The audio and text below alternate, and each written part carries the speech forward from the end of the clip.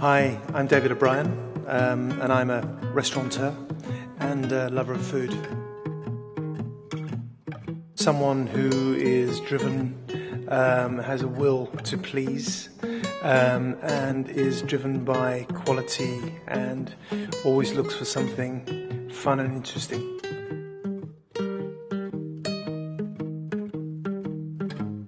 I have the good fortune of having a profession that allows me to do something that I love and enjoy. Quality of the design, quality of the food, quality of the service. That's been something that's certainly driven me as an individual. We thought, well, hang on, let's do it a different way. You know, we created a, a restaurant on wheels, and we and something was slightly esoteric and slightly different, and something that was real. Good hospitality is about making people feel comfortable and uh, secure and uh, ultimately walking away with a big smile on their face and uh, a warm memory.